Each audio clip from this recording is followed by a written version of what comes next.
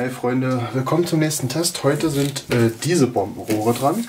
Ähm, die sind von Klasik, sind in F3 eingestuft. Wir haben 8 Schuss in 30 mm. Äh, es sind übrigens auch alles die gleichen Bombenrohre hier von Klasik.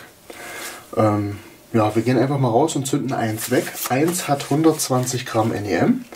Ähm, wir hatten hier schon die Vorstellung der Bombenrohre von Nico abgedreht.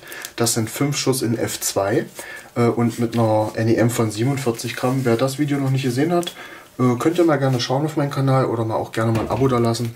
Äh, aber für heute sind erstmal diese Bombenrohre dran von Klasik. Ähm, ja, dann würde ich mal sagen, gehen wir gleich mal raus und zünden das Bombenrohr von Klasik. Bis gleich draußen zur Zündung.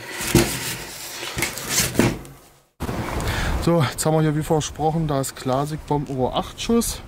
Äh, F3 natürlich und ja, haben wir euch ja schon vorgestellt würde ich sagen. Ich zünde und die wird. Also ich schieße in die Richtung.